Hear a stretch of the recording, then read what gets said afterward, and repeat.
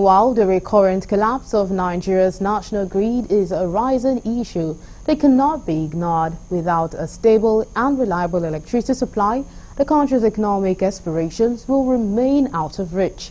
Correspondent Kunle Ojo in this report examines the implications on the country's staggering economy. The reports.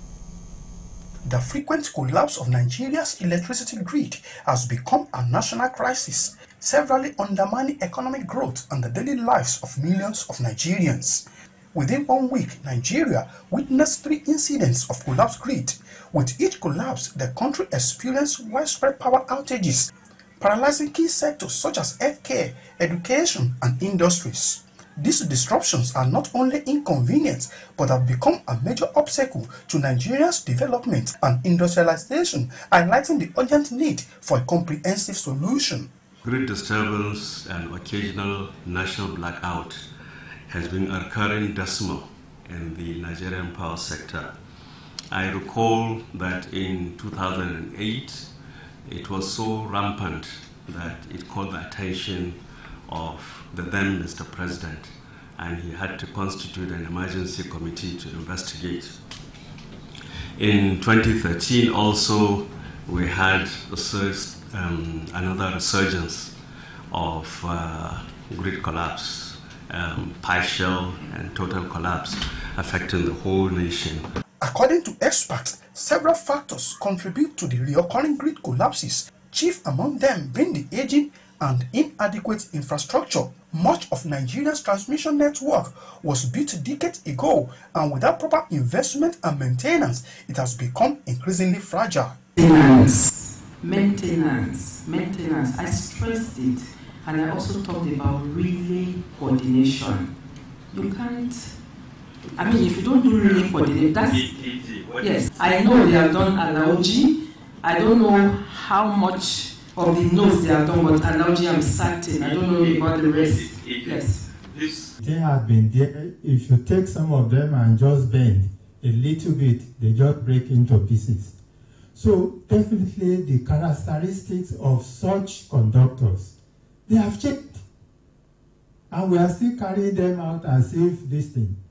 Most of the studies you are doing, you are still using Mass and Macmillan 1992 uh, data for the lines. There was a lot of emphasis on GENCO's inaction contributing to the grid collapse.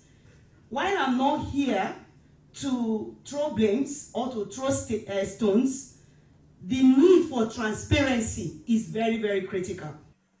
The economic toll of these grid collapses is enormous the Manufacturing Association of Nigeria has long highlighted the impact of unstable power supply on businesses. Many companies are forced to use costly diesel generators to maintain production, significantly increasing their operating expenses and reducing competitiveness. Experts are of the view that addressing the issue of frequent grid collapse requires both short-term intervention and long-term reforms First, the Nigerian government must invest heavily in upgrading and expanding the grid infrastructure.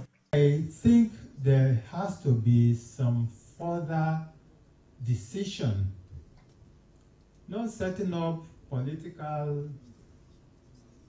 uh, committees that they will go and invest. No, technical committee, technical analysis of the system that will go deeper than what the politicians will see.